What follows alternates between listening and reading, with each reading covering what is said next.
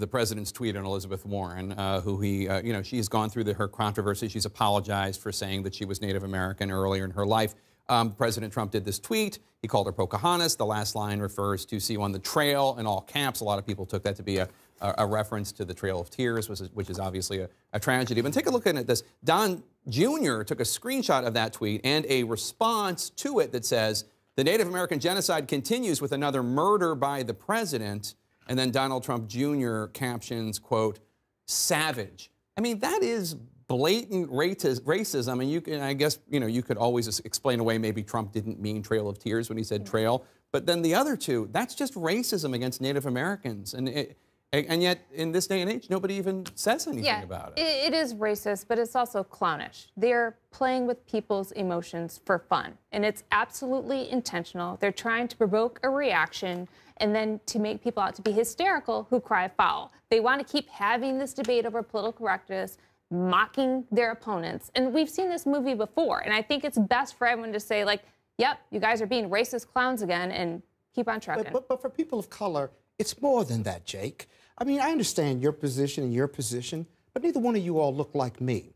And racism, whether it's blackface or whether it's against the Native Native Americans, it's pretty sexist is, is, is, exactly. And, and at their core issue, it's painful, it's hurtful. It reminds us and takes us back to quote, when you make America great again, when people of color hear that, well, it's never been better. It's not uh, awesome for African Americans right now, but if you take me back to when America was great, well, it, it, wasn't great for African Americans back then either. And so I think when we talk about it, we cannot let it be normalized, and we've got to hold people accountable. They're talking about impeaching uh, the lieutenant governor over alleged sexual misconduct, right? Mm -hmm. But you have an attorney general and a governor who, who have put in, admit they've been in blackface, and that's because of the environment they were in. We can't let them off the hook because it's some high school prank. We have never let them off the hook because that's the environment they grew up in. This may be the new South, but the Confederacy and everything before the New South is coming home to roost because their environment it told Can them to be that way. Can I just clarify that I did actually say he should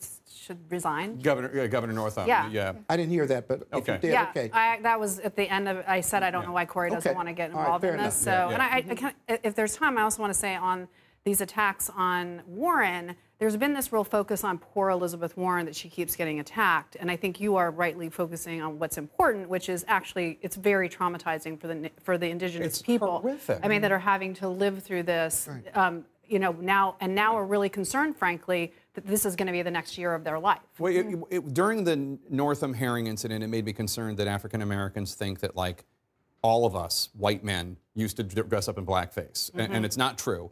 And when this Native American stuff happened, it makes me worried that people in the Native American community think that the rest of us think that the Native American genocide is funny. None of us do. Right. Right. It's none of us would make those jokes. But I worry more about the impact the president and his sons have on people, uh, who, on white Americans who take that, take their lead on it, and how they act on it, how they verbalize it.